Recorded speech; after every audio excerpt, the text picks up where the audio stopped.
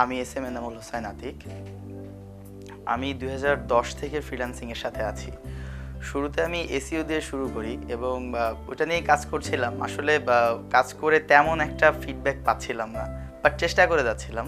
তো সেই সুবাদেই আমি ফেসবুকে ক্রিয়েটিভ আইটির যে গ্রুপটা আছে, সেই গ্রুপটাতে জয়েন করি এবং সেখানে ক্রিয়েটিভিটির বিভিন্ন অ্যাক্টিভিটি সম্বন্ধে আমি তখন থেকে জানতাম। তারা কি কি প্রোগ্রাম করছে তাদের কোর্সগুলো কেমন হচ্ছে। তো সেখান থেকে একদিন ইন্টারেস্ট নিয়ে আমি তাদের একটা সেমিনারে আসি। ক্রিয়েটিভিটির যে গ্রাফিক ডিজাইনের যে সেমিনারটা ছিল, সেখানে আমি আসি। সেখানে আমি শাহাদাত স্যারের অনেকগুলো কথা শুনি। কথাগুলো শুনে আমার ভিতরে ইন্সপিরেশনটা আরও বেড়ে যায়। আমার কাছে মনে হতে থাকে, আমি যে কাজটা করছি এখন সেটা হচ্ছে যদি আমি গ্রাফিক ডিজাইনটা শিখি বা সেটা নিয়ে কাজ করি, বোধহয় বেটার কিছু করতে পারব। তো তারই সুবাদে আমি আরও বেশ কয়েকটা সেমিনার করি শাহাদাত স্যারের। তো সেমিনার করে আমি মনস্থির করে ফেলি যে আমি কোর্সটা করব। সেভাবে মেন্টাল প্রিপারেশন নিচ্ছিলাম।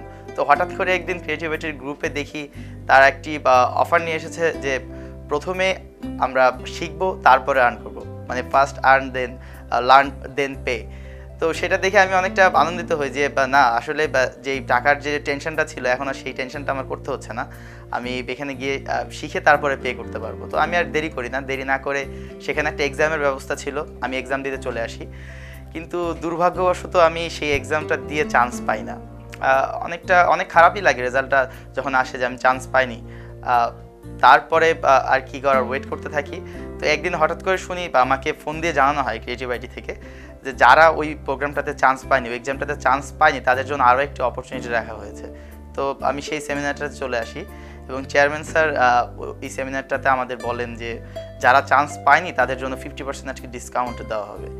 তো তখন আমি আবার আমার আশাটা ফিরে পাই যে না এখনও সুযোগ শেষ হয়ে যায়নি, আমি এই সুযোগটাও নিতে পারি। তো আমি সেই সুবাদে বা এখানে অ্যাডমিশন নিয়ে নেই। এবং আল্লাহর অশেষ রহমত এবং আমার টিচারদের অনেক বেশি পরিশ্রমে ফল হিসাবে আমি খুব দ্রুতই কোর্স চলাকালীন সময় আমি আর্নিংয়ে চলে আসি। আমি প্রথম আর্নিং করি ফ্রিলান্সার ডট কম থেকে। বলতে এবং ভাবতে দুটোতেই আমার অনেক ভালো লাগছে যে আমার প্রথম আর্নিংটা ছিল দুশো বিশ ডলারের মতো।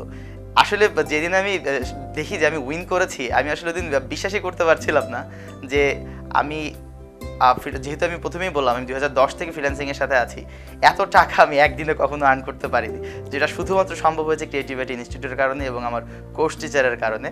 তো সাথে সাথেই আমি আমার স্যারকে জানাই যে আমি এরকম একটা উইন করে ফেলেছি এবং তারপরে খুব তাড়াতাড়ি ব্যাক টু ব্যাক আমি নাইনটি নাইন ডিজাইনে আমি উইন করে ফেলি। এবং সবচেয়ে মজার ব্যাপার আপওয়ার্কের যে ক্লাসটা হয় ক্রিয়েটিভিটির সেই আপওয়ার্কের ক্লাসটা শেষ হওয়ার দুই থেকে মেবি তিন দিন হবে, তিন থেকে চার দিনের মধ্যেই আমি আপওয়ার্কে একটি বিট করে কাজ পেয়ে যাই। সেটা ছিল ফ্লাইট ডিজাইনের একটা কাজ। সেই কাজটা করে মজার ব্যাপার হচ্ছে এটা যে দু হাজার দশ থেকে আমি কাজ করছি, কিন্তু আপওয়ার্কে আমি কোনো কাজই বিট করে পাইনি কোনো সময়। বাট আপওয়ার্কের ক্লাসটা শেষ হওয়ার পরে আমি কাজটা করে দেই এবং বায়ার আমাকে বোনাস সহ পে করে।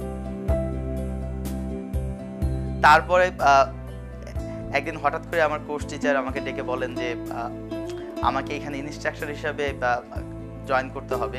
তো সেটার জন্য মেন্টাল প্রিপারেশন নিতে বলেন আমাকে।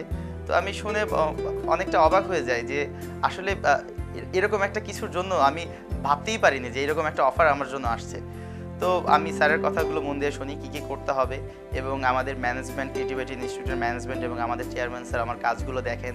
কাজগুলো দেখে তারা অনেক পছন্দ করেন এবং তারাও আমাকে বলেন, আমাকে এখানে জয়েন করতে হবে। এবং আমি জয়েন করে ফেলি। তার মাঝখানে আমাদের কোর্স শেষ হয়ে যায়, আমাদের ফেয়ারওয়েল হয়ে যায়।